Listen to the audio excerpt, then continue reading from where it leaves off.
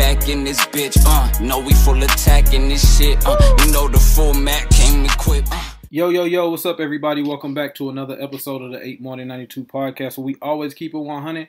I'm your man, Harrison, and I'm back, back, back like I never left.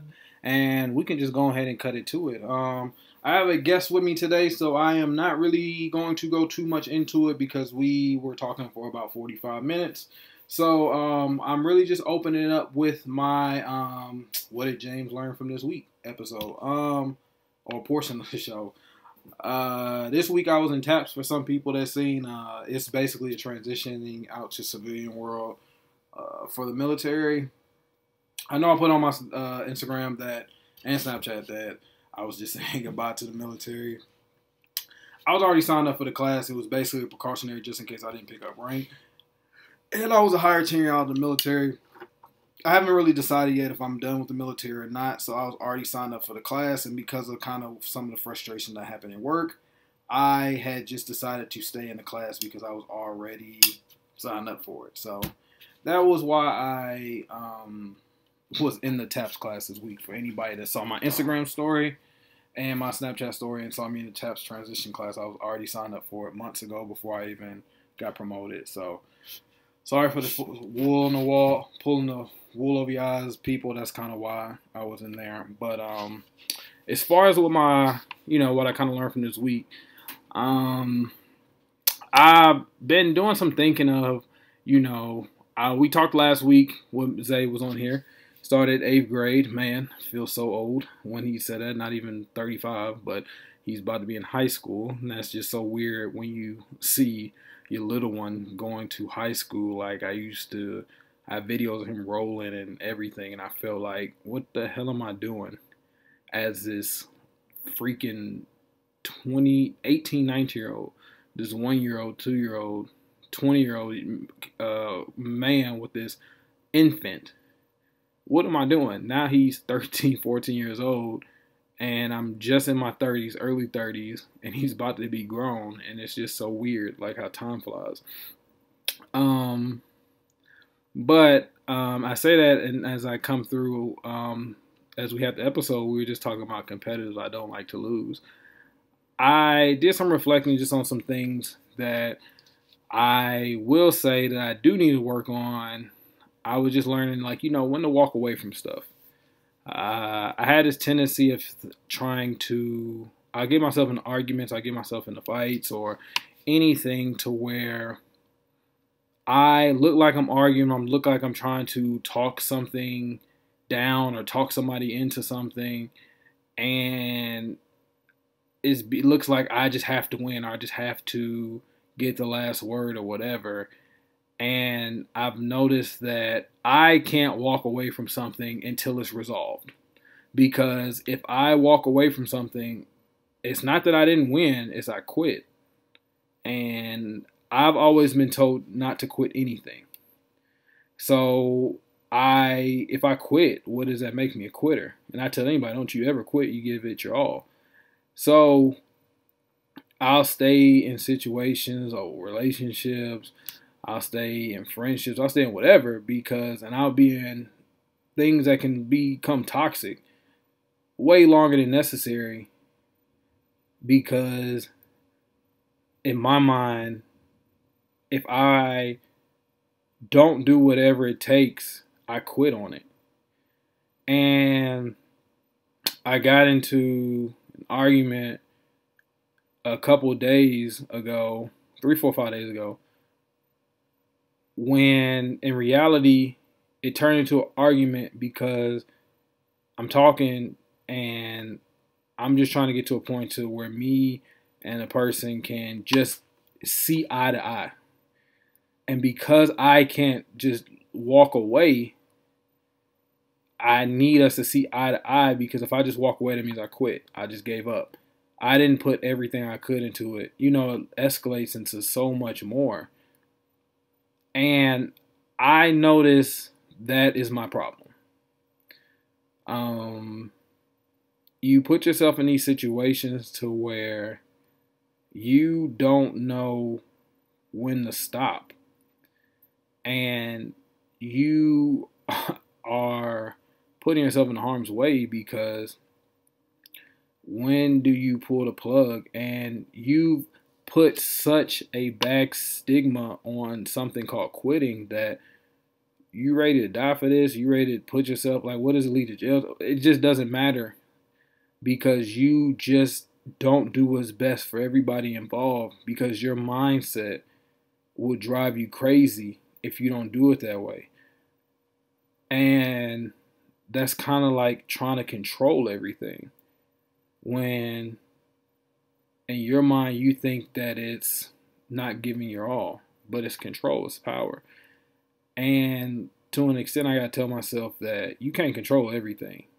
Whether your intention is good or whether it's not, whether you're looking at it as like you give it your all, you can't control everything. So, you know, my learning block is to just learn to that's any argument, any whatever. Just okay, walk away. Just take my. If it's not going, if I, okay, you're not quitting, you're not giving up, okay, because sitting there trying to make someone see the page or whatever you, you, you, you, you, James Harrison wants it to go, can get it to a road to where it can affect you and everybody else. And you're going to sit there and you're going to ask yourself, now you got it. Was it worth it? and then you're going to be sitting there like Thanos talking to a baby Gamora. And he'll ask you, what did it cost you? It cost you everything. So, you know, the hardest thing to do is to tell myself I'm not quitting. I'm preserving my sanity, my life, everything just by walking away because live to fight another day. And that's just something I just really had to work on and really just look at it a whole different way. So I just been kind of just telling myself like, stop thinking you quitting by walking away and thinking of seeing another day. So um, that was just kind of like my, where do I stand? What did I learn? What did I think of for like this week? And I just wanted to make sure that I uh, sat there and shared that before I started with the interview. So we got a dope interview coming up with Phil the Blerd Explorer. As you'll see, like I said, this wasn't going to be too long because we already did the interview and it was already 45 minutes. So y'all sit back. Here's the interview coming up. What's up, everybody? Welcome back to another episode of the 8 More Than 92 podcast where we always keep it 100. I'm your host, Harrison. And today I am joined by, today we got Phil the Blerd Explorer with us on the 8 More Than 92 podcast. He is here today to uh, basically give us his intake on what it's like to be a person of melanin pigmentation going out to these countries. Uh, so appreciate you joining us. Welcome to the 8192 podcast. How are you doing today? I'm doing good, man. Thank you for having me. Uh, appreciate you joining us. Uh, like I said, this has been something that I know you reached out to me a couple months ago. Actually, yeah. more than a couple months ago. Um, I know I was uh, kind of out at sea and stuff, and that was a little complication just because you're in um, South Korea right now. But right. I'm glad you were finally able to come on the show, and we were able to get our times uh, coordinated. I know you're on vacation now, so how's everything out there right now? Uh, everything's going good right now. Um, case at the time of recording right now, South Korea, particularly Seoul, has been hit with a massive uh, monsoon season, so they're having a major flooding problem in Seoul, which is crazy. Like, um, basically like the some of the train stations uh, they got flooded a lot of businesses homes they got flooded because most of the some of the business like gyms for example they kind of get in the basement levels that got flooded something that pretty war has tons of water damage oh any uh damage to any of your property no i don't live in seoul so I, am pretty much far away like i'm on the east coast like gotcha. really on the coastline oh, okay i was looking at i didn't know if you lived in north northern part of the south korea um, I know. I think it's called. Is it called Incheon? Incheon. Incheon. Oh, okay. Uh, no, I used to live there back in 2020, but I I left um back in 2021 after my contract ended. Gotcha. Okay. And um, so are you still doing a ESL teacher? Yes, sir. That's what I'm still doing. I'm currently in my uh, job right now. Been here for about now two years. Going almost two years. So I guess before we kind of go into the book, I just want to know, you know, with uh, everything that's kind of going on in the country, right? Well, mm-hmm. in our country in America right now, you know, we're seeing an increase in monkeypox. I want to know, is it yeah. kind of happening out that way with you all as well? Uh, we are. I we've had some cases of monkeypox. Um, but it's not serious to these levels. And also, uh, course, COVID numbers are somewhat climbing up too, but it's not as uh, where people are panicking as before. Like even I, even after the two years, like I got COVID back in back in April, but I was already vaxxed, triple vaxxed already, so I was good to go. So I had no problems.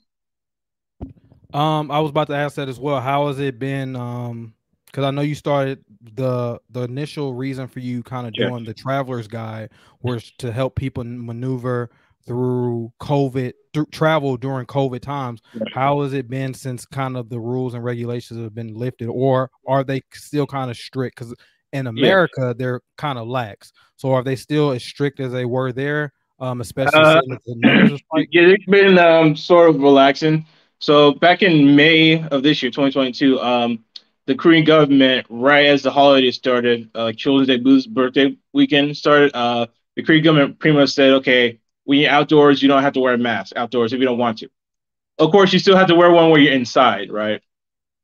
And um, during it was crazy during like t- the past two years, 2020, 2021, uh, the Korean government said, okay, we're shutting down all bars, clubs, gyms, restaurants. You got shut down temporarily, right? And unfortunately, so many businesses went out because um, there's barely any financial, you know, help because a lot of people that's not that was a livelihood you know, so it, it was crazy.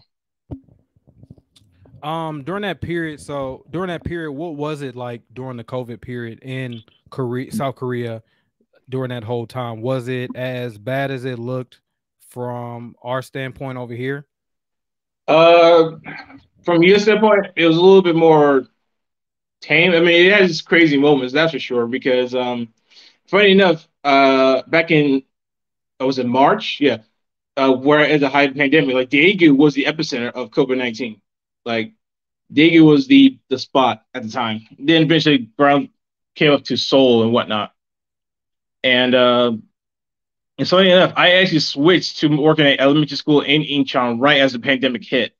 And the craziest thing is, like the whole time I had working a contract there, I never taught a single student the whole year, not even online teaching. So basically, I got paid to sit around and do nothing. And then around uh, summer 2020, that's when I got pretty much, I guess say, put on leave. So I got stuck at home on a reduced salary. And that was a struggle because, uh, one, I wasn't working. Two, uh, I was living in a very expensive area too. So, uh, what I did like the area living in is just like with a reduced salary like that, it was kind of hard to like try to survive, you know, pay bills on top like that. Gotcha, I understand. So let's dive into kind of who Phil is, right? So where yeah, are you from? Uh, from South Carolina. Oh, okay. Uh, what part? Uh, I live in uh, Blythewood. Oh, okay. Where exactly? What's that by? It's uh right, pretty much on the border of the capital of Columbia. Oh, okay. Like you so pass noticed... on I seventy seven. Uh, say it again. You pass it on I seventy seven. Like you're going whether you go north or south of South Carolina, you pass it. You pass this. You pass this town. Oh, okay. So, um, you're not that far from me right now. Right now, I'm currently in Virginia, so we're kind of. I actually got a friend in Virginia right now. He works at um, Virginia Tech right now, actually. Oh, really? Oh, okay. So yeah, yeah. If you ever, if you uh, my friend Jamal, like, he actually work. He's like, I guess the director, like um, uh, he basically he's the camera guy. He's in charge of the camera for all the sports teams. For the sports team, he's a, he's a camera guy. Oh, okay. Well, when you talk to him, tell him to tell him to look out for the eight one nine two podcast. Tell him, you know, we sports fans. Tell him we talk about sports all the time. We've even yeah. had sports college uh professional athletes on the show. So tell them to look out. Yeah, yeah, he is. Yeah, he's down there taking pictures of the football guys, recording. He does basically all the video stuff for them, video editing. Okay. So um, I I seen uh got to read through the books. I'm still finishing. Like I said, it was a busy, so I've been moving yeah, yeah. through the state. I've been moving through a couple states over the last couple days, so I still have to finish them both. But I was able to go through and um, get some of the some highlights from to get a gist of. Um, you're very tall, so yeah, you're six six. Uh, you're taller than me, which is which is always weird for me. I'm I'm about six three. So it's yeah. always weird for me to see somebody taller than me and make me feel short. No, um, I feel you guess. Yeah, no, sorry. Go ahead. No, go ahead. Go ahead. Go ahead. Actually, not too long ago, I actually saw a Korean in Seoul who was taller than me.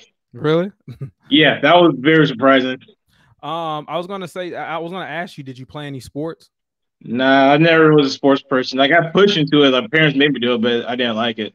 Yeah, I was they gonna just... say for you to be um in South Carolina, that's a, a sports cat, almost like it's a you know they Yeah. say it's a Bible belt. Well, it's almost like Yeah. a sports Bible belt to an extent. For you to be as tall, I would be surprised. Yeah. Um, Basically, I, yeah, I guess you say I was more different. Like I'm, uh, not a sports person, not a religious person either. So yeah, I pretty much just defied all the norms for Black culture and especially the Bible Belt. Yeah, I had talked about this um a couple episodes ago when um I was I don't know if you uh watch Abbott Elementary Mhm. and I feel like you know I know you called yourself a blerd and I noticed that uh a lot of times in black culture when if we're not playing sports if we're not rapping if we're not doing what's traditionally normal you know Yeah. we kind of push that away and call it insults you know? And I, I i had said this because um i was talking mainly about i said uh and I, I said in one episode that about um I said in one episode about interracial dating, I said I didn't agree with it to an extent, Mhm. but then I said, but I can't. You have to also accept the fact that when you get somebody like Lawrence from Insecure, I don't know if you've seen that or Abbott Elementary, and they're Yeah. with somebody of different race as Well, they're still doing shows to highlight our culture, but you called them weird when Yeah. they were younger. And Yeah. now that you see them being exactly who they are and you get older, you're no longer worried about um the social norms of fitting Yeah. in in high school. Yeah, yeah, and they're still promoting our culture. Like you're doing with teaching like you went to korea to teach other people that look like you how to get around. Um you spent so much time alienating them young um because they just didn't want to do what you wanted to do when Yeah. you and you made them feel like maybe less of themselves. So i noticed when you said you were six six you were trying to push into something because that was the norm but in Mhm. reality they i feel like you know you could have still got highlighted for what you did and and now it's more normal to see black people traveling and doing Yeah. what you do and doing what you didn't see and because of what you did you created a lane to help people explore places like korea and if you would have given up on that if you would have followed what they did you would have not been able to do that. So i commend you for not giving in to what you know the norms of not allowing people to kind of push you off your path just by labeling what they want because now as you got older you didn't have to find yourself. You were always you. So i commend that. Like Right. i said um what you found you were always normal to you. Is not what people deem and you never had a change up. You didn't have to go through identity crisis and i find that's probably really problematic with our culture is Yeah. that we spend so much time um berating and trying to fit in when we should just appreciate the difference so Yeah. um Uh, uh, true. In some cases, like I mean, I did go through identity crisis, especially when it came to religion. Uh, you know, I hate to get off track though, but like, you know, me, I always question religion, particularly particularly Christianity. Is like, wait, why am I going? Why am I going to church? Why am I supposed to believe in God? Like, now some of it was, you know, your typical teenage rebellion, like, oh, I'm too edgy, too cool for church. You know what I'm saying? But as I got older, it's like, you know what? Nah, I don't believe in any of this. This this ain't for me. Is this was this one of those moments like when you know age comes with wisdom? Like you, when you get older, it's like you know what? I'm cool with who I am. Like I, it's okay to be different. It's okay to say you know this ain't for me. Will people? Will I have problems with family members who don't like the idea? I don't. I'm not a Christian. I don't believe in Bible. Absolutely. But hey, at least I'm living my truth. At least I'm being honest. Versus like people who just join who just basically I hate to say but bandwagon when it comes to religion. People so much join bandwagon because oh that's what you're supposed to do because of the culture you grew up in. and i think that i think that that's what gets lost is um if you were to ask them five to ten years later in life why were you doing this they say it's because this is what i was told but did you challenge it? And i respect that because you figured like this is not me. I don't align to this. Like Yeah. i'm in the sports. I play sports heavy. But if you look Yeah. behind me it's marvel here. If i turn my computer a little bit this way i also got Yeah, a whole bunch of stuff that way. So it's like and then i got sports right to the left of me. So i think the older i got i just was like um i like the nostalgic parts about me all that hey mm-hmm. arnold everything and i like sports about me and i think i said i got to a point to where like hell if i was to pull this up i still got my my ranger blaster. You know and i mm-hmm. said? I felt like it was a part of me that made me me and i think that um when i got about 24 23 24 i think mm. i asked myself who the fuck am i trying to impress? And Yeah, i exactly. think i i think i I think I envy people that figured it out early, and I think I am disappointed in myself that I laughed at that. You know, right. now some people that do weird shit, like we all know, that I'm not envious that I because some people that just do like outlandishly, like you know, weird stuff. I'm not talking about those people. I'm, I'm talking about people that like as I get older and I secretly liked it and I just didn't say it because it was that. So yeah. um so um you went to college. Uh where did you go to college at? Uh first when I finished high school, uh I went straight to Charleston University for a year, but my appendix burst and my grades suffered because I missed, you know, so many classes, you know, recovering. Uh, then I kind of like, you know, as a kid, like, you know, when you drop out of school, you try to figure out, okay, what do I do in my life? You know, like like what am I supposed to do? So I was kind of between you know working and then going mili- trying to join the military, but my ASVAB score wasn't high enough for the Air Force. So I said, you know, screw it, I'm going back to community college. So I did that for a few, for a couple of months, you know, for about a semester or two, and then I transferred over to Winthrop University. So, um, when you said you when you went to go to uh, teach ESL uh, abroad, mm-hmm. um, what made you pick Korea? Um, actually, I actually saw it on my uh, university's job board at the time while I was a senior in, in university. You know, trying to find a job, going to job fairs, but just couldn't find anything. And then I saw an ad about t- the idea of teaching English in Korea. Um, and I thought, okay, well, maybe let's look more into this too. And I figured, okay, this could be a good way to save some money, uh, pay off my student loan debt. Still haven't done that, by the way. But, but um, and also I also didn't follow my niche because I was wanting to travel and see the world. Like I was wanting to go to Japan too, but I didn't know how to do it because you know growing up, and I'm pretty sure you probably agree when I say this. Uh, I never heard or seen other black people traveling or living abroad. If they did, it was because they're in the military, almost always. I know. Um, I was fortunate. I you're absolutely. Right. I was fortunate enough to travel only because my dad worked at General Motors. Yeah. And so but when he took us traveling, it wasn't the experience that you're talking about. It was just to say he could take us somewhere traveling, and it mm-hmm. was places that we shouldn't have been going, like Vegas or places, and we were in the hotel all day where he was yeah. going just to say he took us. But you're right, like um, not a, none of my friends had been to places I had been at an early age, but I wasn't doing anything those places. So you're right, like it, um, it's not something we can do. It's not some family leisurely trips. Um, I did wonder why you didn't go to Japan because you once I was yeah. reading, like you said, you went to the Pokemon convention. Um, so I yeah, went, yeah. go ahead. Yeah, no, I actually I was comparing the countries teaching ESL between China, Korea, and Japan. Right, mm-hmm. uh, Japan is actually more expensive overall in terms before compared to Korea. Mm. Joe, Japan and, expensive as fuck. People think it's cheaper over there. It's not. No, nah, it's not. It's not. Even I. That's why I still haven't gone to Japan yet because it's Taiwan is more cheaper than Japan, basically. Let's put it that way. Yeah. So, um, um, go ahead. Just like Singapore too. Like I also want to check out Singapore, but that's a very expensive country too. I know. Um. I so I got stationed in Yokosuka. Mm-hmm. Um. So I, I I know a little bit um of what you're talking about, like the expenses over there, and um is definitely something that you only kind of see a lot of military people. I did not see too many travelers come through, and if they were traveling to visit, they were visiting family. Um, so let's dive into uh, your book. So let's go mm-hmm. into um, what made you want to give. I know you talked a little bit about it because you don't see too many people traveling, but what made you want to give these books about write these uh, travelers books about how to travel in uh, South Korea? Well, uh, one, it was basically in May 2020. It came up with the idea of it because I looked around and I saw uh, I did see travel books done for like you know for, for general population for everybody. Uh, so travel guides for women, so travel guides for men, which is great. They can be useful for those markets, right? But I thought, okay, what about black people? Because we're just particularly, particularly African Americans, and of course other black people from around the world.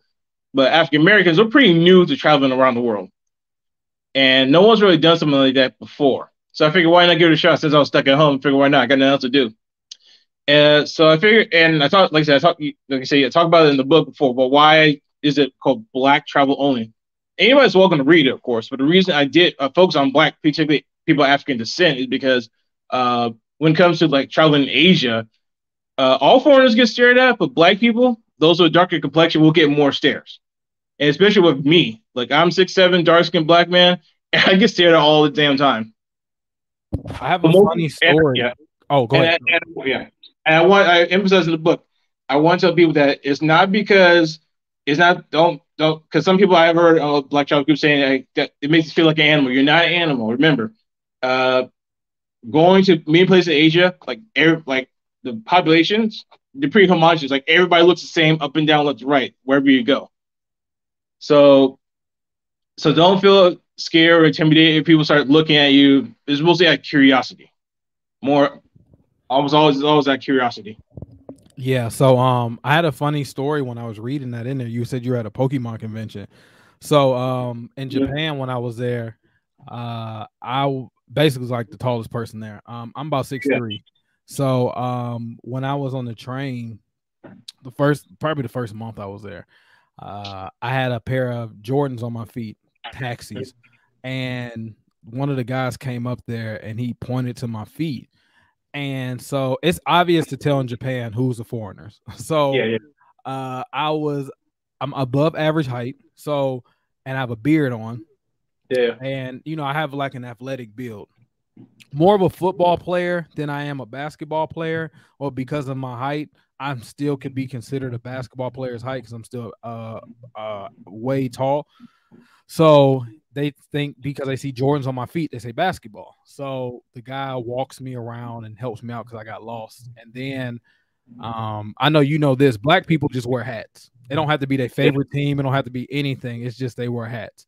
yeah, Uh, one guy saw me with a Cincinnati Reds hat on, and he thought I was a baseball player. I thought he was mugging me at first, yeah, um, but he just wanted an autograph. They bought us drinks. it's helped me out. Um, a lot of the times they just look at you if you're black and just think that you are an athlete because at, at, at least in the military because I have my beard. So a lot of times you know it's clean cut. So I've gotten the, the impression of that I was an athlete. So I've uh I can understand completely where you're coming from, especially being how tall you are.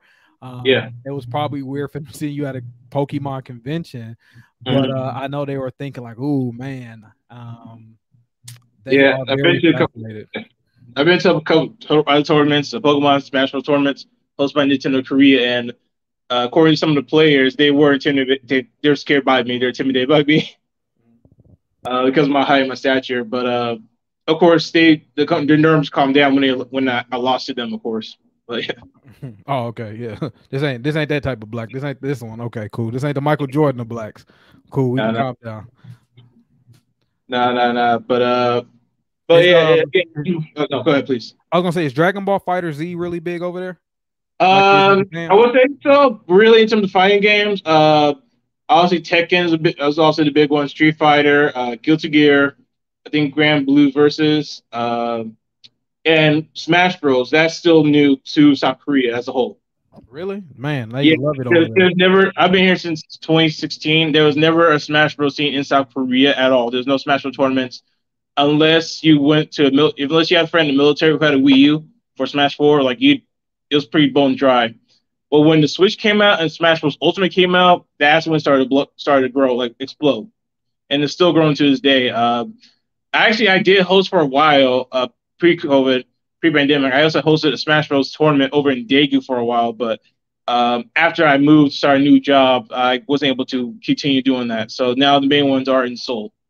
Gotcha. So, what are some of the misconceptions people may have about uh, South Korea? Um, one that I know some I hate when other foreigners post about it online is like South Korea is so safe that you can leave your stuff on the ground and no one's going to steal it. Uh, well, that is true to some extent. Like thefts does happen. Like there's also a lot of crimes, just like back home that occur, but you just don't hear about it on the Korean English news sites. Um, also, another fact that you know, uh, Korea is just this wonderful place. Like any country has a flaws. For example, uh, South Korea. Wait, I'm not sure if you can mention this, but uh, South Korea has the most high, the highest rate of unliving themselves in the world. And They have the highest rate of what? Uh, unliving, big suicide. I wasn't sure if I could say the word suicide on the Oh, you can say suicide. Okay, I, I didn't know. I didn't know. Uh, yeah, so South Korea has one of the highest suicide rates in the world because of the pressure to be had top grades, go to top university, go to work at certain companies. Isn't that where that Yeah. Jake Paul guy had? Yeah. That, don't they have like a suicide force or something like that there? No, that was Japan. That was Japan. Oh, okay. well, there, unfortunately, there's a suicide bridge. I hate to say it, over in Seoul. Um, and of course, it really sucks if you're LGBT, if you're Korean and LGBT. Like that's really that's one. Now, uh, South Korea has no anti-discrimination law, so Koreans and sometimes foreigners, you can be fired if you're gay. How is it for um, interracial relationships over there? Um, it depends on what where you're from. Obviously, uh, if you're a white girl, obviously you're gonna be the prize. Uh, is dating is possible in Korea? Uh, also depending on the cities, but uh, from what I've gathered, like especially for black men looking to date Korean women, it's possible. But just like in America, uh, when it comes to summer white girls, Korean girls will date you, but they won't bring you home to meet mom and dad. How is it? Um, how has it been as far as uh, like the treatment? It's like because I know. Do you remember um when the outbreak? Well, mm. Something recently just happened. I think no, I think that was probably with the Ukraine. But how was it like with the treatment of black people? I know you said like when they look at you, they don't like treat you bad, but how do they kind of treat you versus like white people? Uh, I would say if there's race, racism, it's mostly because of ignorance, because they really just don't know, and also colorism, because for those who know, so, so in many East, China, Korea, Japan, uh, East Asian cultures, colorism is pretty rampant uh, against people with darker skin tone, especially against South Asians. And keep in mind, colorism has been around in many in Korea, Japan, China for centuries, even long before the colonizers came through. Like colorism has always been the appearance of having lighter skin is considered more beautiful. You consider more wealthy, and that that part of culture is, has been around for centuries. That hence why you probably hear about uh, lightening whitening creams, you know, bleaching creams, you know, being more whiter, and why you see, especially in, in Asia, like why you see so many women having parasols to protect them from the sun, which is fine, of course, but it's because they don't want to get uh, darker tone. Gotcha. Is there a lot of like Blasian um, babies there, like there is in Japan? Mm, probably, but uh, yeah, it's, it's possible. Um, but yeah, so it's possible. It can happen. So from the the book, um, as a black person going through South Korea, like what are you um helping them maneuver through like through all the stuff that you kind of said here? Like what kind of experience are you going to kind of give them from hearing all this stuff that you just kind of told me? What what are you going to kind of keep them avoiding from and keep them from experiencing? Well, uh, honestly, this book is more to disguise to basically, uh, to paraphrase Huey Freeman from the Boondocks, we're trying to help avoid a nigga moment. Basically, that's what the book's for. Okay. Uh, but uh, joke aside, of course, but also because uh, it helps them feel comfortable. Because obviously, for some Af- African Americans, particularly, it's going to be their first time traveling so far away. Because most black folk they want to go to like South America, Dominican Republican, or Africa, which is fine. Hey, go do where you want to go to, of course. But if it's your first time, say to Asia, especially going from places like South America or Africa, where you know being having our complex is fine, whereas a place in Asia that's not normal. That's not the norm, technically, culturally. So uh, these books uh, is more to help you feel comfortable with it, help you learn what to expect, and yeah. So that's uh, of course, it's like your typical travel guide. You look at locations you can go visit, places you can try to go and get some eat at. But mostly it's to just kind of uh, help you get feel comfortable to be with traveling in South Korea. So, uh, give me your top three locations, your top uh, three foods, and your top three. Hmm. I want to say I don't know if I call them excursions or let, let, we'll go with locations because I, I don't know what I would lump in like yeah like, like uh, top three cities sure. ooh uh, or cities. Let's go cities. So locations yeah. city like locations as as far as cities um uh places like as far as like like a um what is it called like a gift store or like a, yeah. a figure store or comic store or anime store yeah. like that and then your top three like foods Okay, uh, location city wise, I'm going with. Oh, it was a good one. Um, I'm gonna go Gwangju on the west coast, um, Gyeongju, and Daegu. Okay, what kind of food do they uh, sell those? Uh, honestly, uh, jjimdak is one of my favorite foods for sure.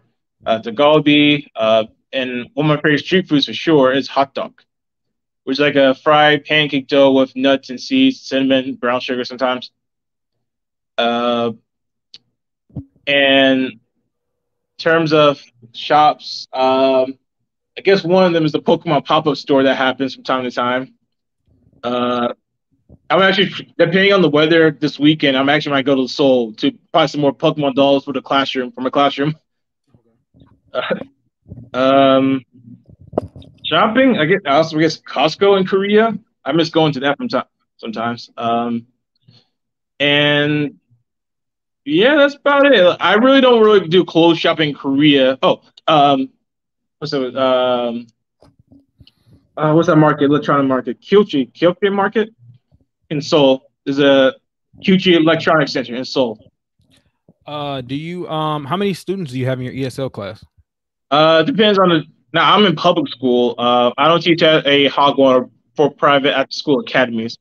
So now for my school classroom, it varies. Uh, my fourth grade class, I'll have about in total about 60 students.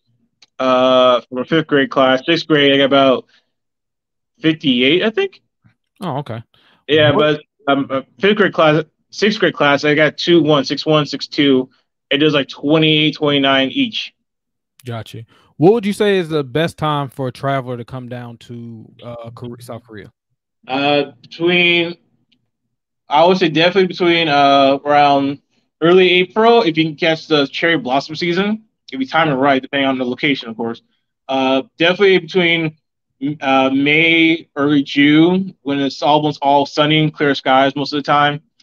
Uh, summertime, July, I would say July for a certain time because the Daegu Chimac Festival, which which actually came back this year, uh, was a fried chicken and beer festival.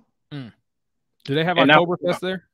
Yes, they do in this town called Namhae, but that's more south or south southwest area of Korea. Gotcha. That's a little too. I would love to go to there, but that's way too far for me to okay. get there and back. They had one in Japan, so I didn't know if they had yeah. one there. Yeah, yeah, they do. Um, definitely. Also, July and August can be brutal because of the humidity.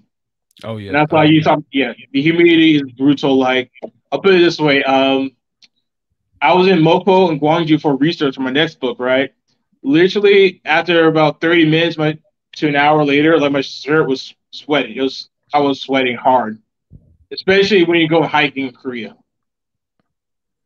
So, they, hmm? no, I was gonna say, do they have any like special, like you know, uh, Japan had Mount Fuji, they had like the temples and stuff. Do they have any like mm-hmm. special like uh mountains or special temples or anything like that? You oh yeah, they got tons of good temples you can find, have a good time at. To respectfully, of course. Um, mm-hmm. and of course mountains too. Like Korea is a very mountainous country. Everywhere you look, there's a mountain. You're either on a hill or a mountain uh, many cities, like some parts of Busan, some parts in Seoul, they're built on a mountain. And you said um, if they're coming out to Korea, they you said somebody should probably have about fifteen hundred dollars. Yeah, I would say about right for a week at least. Uh, fifteen hundred. Yeah, about fifteen hundred. Do they use yen out there? No, they use the Korean won. They have their own oh, currency. Gotcha. Uh, the, usually, uh, the dollar will be stronger with the Korean won, so you'll be able to get a little bit extra off it okay. in terms of exchange rate. Uh, don't and I mentioned this before, but don't exchange all your money at the bank. Uh, you can you can get some money out where you're at the airport, of course, but go to the bank the next business day if you can, and that's where you get more of a better rate. Got you. And so the Daegu manuscript, did I say it right? The Daegu, Daegu, Daegu, Daegu, Daegu. manuscript. Yeah. Go ahead and give us some insight in that one. Unless your second book. Um, yeah, yeah. Go ahead and give us some insight on what that one is um, about. Uh, that one, same thing, but more better, I guess you could say. Like it's, it's like your step two. Um, so I wanted to do, I wanted to talk about more one of my favorite cities I used to live in, and uh, one that never gets talked about as much in terms of travel. Because everybody, when people think of Korea, they have to think of Seoul or Busan, maybe Jeju Island, but no love for Daegu or Incheon. So I figured, um, and for me, I wanted to I could have done easily done a book about Seoul or Busan, but I wanted to start small, see like kind of like test the waters if if there's a demand for type, this type of content. So I figured let me try at least these two book these two seasons first. and if people enjoy what they like, then of course I can always add Seoul and Busan maybe later on. What made um Incheon? Is, am I saying it right? Incheon. Yeah, Incheon. Yeah. What made that like your favorite place? What made that so good? Um. Well, it's not because it's not in Seoul. Uh, that's for me. I never want to live in Seoul. Uh, it's close enough to Seoul. Uh, there's some good stuff. Uh, especially Incheon Grand Park. The park was very beautiful too. Um, and it's a little bit more cheaper too. I figured at the time I was living there when I wrote the first book, so I figured why not start here? I live here, so it's easier for me to get around. Is it um is the housing and stuff there like are they small? Uh, most Koreans live in apartments. Gotcha. So, uh, because land is small and mountainous, so it is possible you can build a house, but you got um, obviously that's easier to do in the rural areas than in, in the city. So, have you seen like the house or the apartments or stuff? And have you seen like the the living in Japan? It's Yeah. very small. Is it kind of similar there? In a sense, yes. Um, again, um, obviously you might get a little bit more space or two with apartments, but um, again, it's mostly on the vertical side of things. But again, uh, because Korea is so small, space-wise, it's kind of small in terms of land availability. So, uh, housing, uh, if you're looking to get your own place, it's possible. Now, some the problem, the struggles of uh, getting a housing in Korea just to do apartments because they have this renting system called jeonse. So basically, like for example, uh, a deposit, average deposit for one person, right? We'll say about what two thousand dollars in US, right? Uh, for a deposit in Korea, it could be for um, four, five to ten thousand dollars. So basically, it's almost, it's almost like you gotta get a loan to get a, a house a deposit. But usually, the more if you pay more into the deposit, the less you pay in expenses and bills. Usually, Can you speak fluent Korean? no, I'm uh, I'm actually in the process of studying right now. How often do you come back to the states? Uh, I haven't looked. Last time I came back was back in February 2019. Oh man, okay. Yeah, so I still haven't left Korea yet because of the pandemic. Mm, do you plan on coming back anytime soon?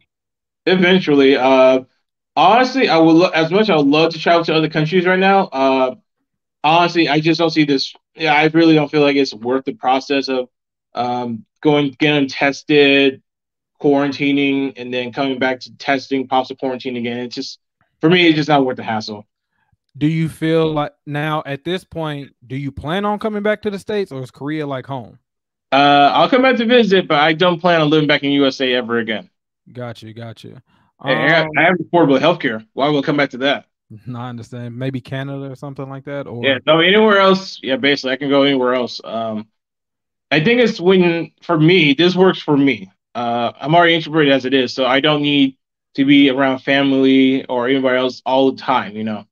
Got you. Yeah. Um, I know uh one of the topics I was going to talk about. Usually I do a segment. I don't know how frequent you listen to the episodes, but um, I do a segment. You know, usually where like I have like maybe like my what I learned or therapeutic session, and um on the pre part of the one I have pre part of it, the episode I had learning to walk away from situations, whether it be an argument or whether it be in a relationship or whatever it is, just me personally, um, I've looked at like walking away as quitting. Mhm. And that could just be like if I'm having an argument with somebody, it's only an argument because to you it could look like I'm just trying to keep it going on to win. But to me, I just want us to come to a point of resolution. Mm. And I just need to learn how to walk away, whether it's that debate or argument or whatever, or whether it's that entire situation, or whether that's family in general. You get what I'm saying? And I can understand, you know, just what you know, people causing you stress and stuff like if it's anything like that, you know, you just learn to like walk away for the betterment of what's good for you. Um, because to me, like I said, I because I play sports, I look at it as a loss. I don't like to lose. Mm. So if I try and it, it's not even like a loss, it's more I quit. And I don't like to quit. I don't ever want to quit because that means I didn't give my all. But I have to look at it. I had, I had to tell myself I have to look at it a different light. You know, just kind of change my mindset up of you. You you- you're not quitting. You're just choosing a different alternative. You know what I'm saying? But um, I did want to switch it. So I know you're an anime fan. Um, what's your top five anime? Ooh, let's see. Um, trying to think of this one. Uh, I did enjoy One Piece, Naruto. Um, uh, what was the other one? Trigun growing up. Um, uh, what was it? Uh, Konosuba. And I believe, oh, Attack on Titan. Okay, that's five. So let me see my top five of all time.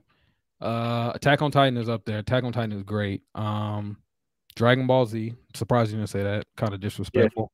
Yeah. Um, Dragon Ball Z, Naruto, um, Shaman King, throwback. Uh, that's probably because that's like the first anime. It's probably like the first or second anime. I, I think I watched that around the same time I watched um Dragon Ball Z when I was a kid. Came on like Fox. Mm-hmm. I don't know if you ever watched. They they brought it back on Netflix. Yeah, yeah. Um, but Shaman King is really good. To me, it's like one of my favorites. It's just more nostalgic. Uh, and then see my fifth. What am I four?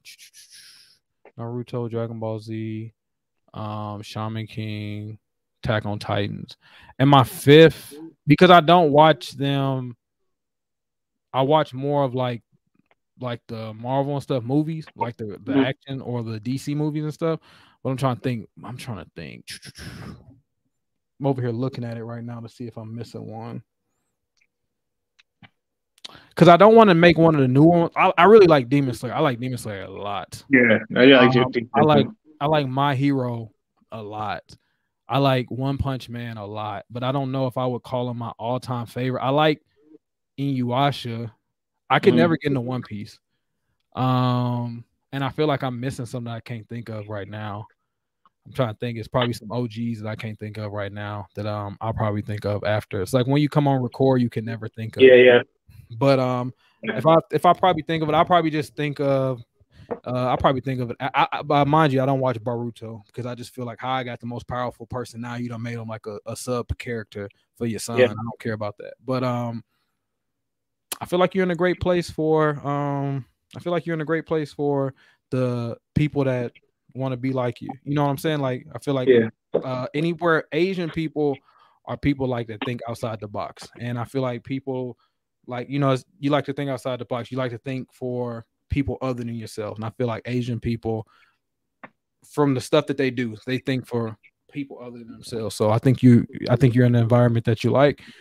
Um i'm trying to think. Um i'll put pokemon up there because I, I really had a good time watching pokemon because i was trying to think yu-gi-oh was really fire to me uh pokemon still got the best theme song ever i don't care what nobody say uh I could play that thing all day. Um, I'm really having a hard time. I'm trying to drag it on. I don't know if you've noticed, so I can think of my yeah, yeah. one. But I, I really can't get, I can't get my fifth one up here. I don't know what it is, but yeah, that's all right. That's all right. But yeah, so uh, huh. I almost put Gundam up there because I used to watch the old ones, but they didn't have the new ones yeah. on Netflix too. Um, I feel like they put something on. I feel like they put something on Netflix that I watched. I haven't watched Hunter X yet. Yeah, I love Hunter Hunter. I like that show. Hmm. I'll be better. What got? Right. What plans? What plans you got for the rest of the year? Uh, right now, I'm actually writing my travel guide for South Korea, so I'm, right, I'm in the process of that right now. Uh, mm-hmm. I started working a little bit on the draft. I just got back from traveling to uh, Gwangju and Mokpo for research. So uh, right now, I'm kind of taking a break slash also writing about it. Um, so basically, right, that's what I'm working on. I'm probably going to continue to do a little bit more traveling to other places, uh, doing the breaks, the upcoming four day, three day weekends. So that's pretty much the plan right now. Um, do a little more travel, get more research in, and hopefully, I'm hoping to get this book done within the next year or two. How long before you uh, take the Blerd series outside of Korea? Is that one of your goals? Uh, uh, maybe I might do so. Uh, yeah, yeah, maybe just uh, depending on where I can travel, of course. Okay. Well, I'm really excited. Like I said, it's been really engaging. Um, reading it. Uh, I've been I done got in trouble through I was going through a TAPS class and I got in trouble because they kept asking me a question. I was trying to get through the chapters reading and I got to the um the Tabi part and I was like, man, this is really and I was looking at the figure part and I was like, I wonder if they had these here and these, and they kept saying, um, "Mr. Harrison, Mr. Harrison." I was like, "Oh shit, that's me." So Yeah. uh, I'm really excited for everything that you're getting to you right now. I'm really excited that you, you know, somewhere that you found peace. You're teaching people not only English, but you're also teaching people that I want to travel um, the easiest and best way possible. I'm I'm loving that you're being able to be uniquely and authentically you in your own skin while also giving people a great experience in a country that people have a bad connotation on while shedding light and showing the beauty that it is. Um, I'm grateful that you have these books out here, a black person out here making a way for us to have another avenue that is also um, which we don't get highlighted enough at travel traveling like you said. Not only do we not do uh, you don't see us traveling we don't see us in the travel guide business. So um let everybody know where they can find your books at. Yeah, you can find the Black Traveler's Guide to Incheon, Incheon, I N C H E O N, and Black Traveler's Guide to Daegu, Daegu, D A E G U. Uh, you can find them on Amazon uh, right now as ebook format uh, right now. So uh, get them while they're while they're available now because, or if you want to wait, uh, I'm actually going to take the books down and put them in my next book when I do the country of South Korea. So eventually, I'm, I mean, I'm actually going to add those two books and kind of put think of it as a kind of like an anthology in of a sense. oh, oh i didn't know if you're done Yeah, oh, yeah, yeah, yeah. Also, uh, you can also if you want to see more of my adventures, you can also um, follow me on Instagram or my TikTok, because that's starting to blow up even further. At the blerd B L E R D blerd explore one word. all right and is it the same for your instagram and tiktok are the same Yeah, yes. Instagram, TikTok, and our IDs are the same. Yes. okay you got a youtube channel or anything Uh, no, I think I'm just focused on TikTok since that has more chance to grow further than t- YouTube or uh, Instagram. Oh, okay. Well, I appreciate the I appreciate you coming on. Uh, I appreciate you giving the time to talk to us and letting us know everything that's going on. Hopefully, when you finish the the the third and fourth book and everything, you come back on and we can shoot the shit again. Oh, Mm. definitely. Um, promote it some more and anything else that you need, just let me know. We can link back up again just to have some more stories. I'm gonna find my fifth one and I'm gonna let you yeah, know. that's all right. That's all right. Take time with that. I appreciate it. You look hot. Um, I Yeah, no, it's because of the community, man. So that's why it's just humidity over here in Korea. Like my room's getting hot, so Yeah, so you know, like I said, I, I know, I know, I, I bring the pressure sometimes when people come. nah, nah, you didn't, you didn't do it in Korea this time. You She know, got you know, you know. nah, So I like nah, nah. Waking up like this sweat, man. This humidity is cr- crazy over here in the summer. but nah, I understand, man. But I appreciate you, like I said, I appreciate you joining us. Uh, this has been another episode of the Eight One Ninety Two podcast. We have the one and only Phil, the Blerd Explorer, getting us right with the Black Traveler's Guide to South Korea and the Daegu manuscripts. They're both out on Amazon. Make sure y'all check it out and make sure y'all check out the Blerd Explorer. Those are his Instagram and his TikTok to see everything happening for all of our African American and melanated people that want to go figure out what is popping out there in South Korea. And y'all make sure y'all check us out at the 8192 podcast where we always keep it 100 y'all and we're going to check y'all out later. So peace. Back in this bitch, uh, know we full attack in this shit, uh, you know the full format came equipped, uh,